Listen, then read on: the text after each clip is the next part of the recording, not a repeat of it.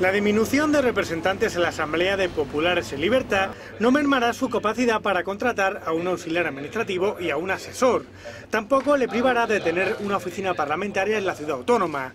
La única diputada de PPL, Paz Velázquez, ahora es integrante del grupo mixto que, a pesar de no contar con dos diputados, puede constituirse y por tanto conservar la oficina del antiguo grupo de PPL.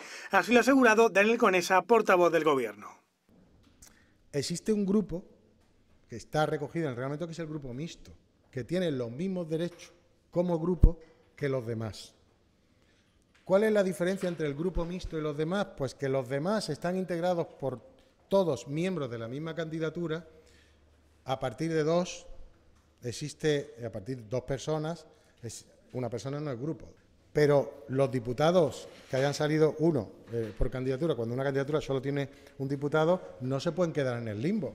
En la actualidad, los grupos conformados por entre uno y tres diputados, como el caso actual del grupo mixto, solo pueden contratar un auxiliar administrativo.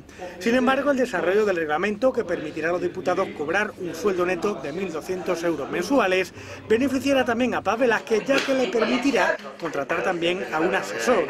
De esta manera mantendría los dos puestos de libre designación que tenía PPL en la anterior legislatura, pero esta vez del grupo mixto.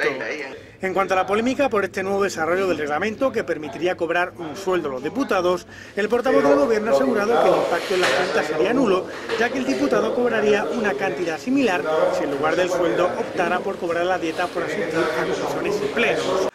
Además, con esa acusa al PSOE de no tener clara su postura ante esta cuestión, ya que dice que los diputados socialistas estaban de acuerdo con el sueldo, mientras que su portavoz, Gloria Rojas, en contra.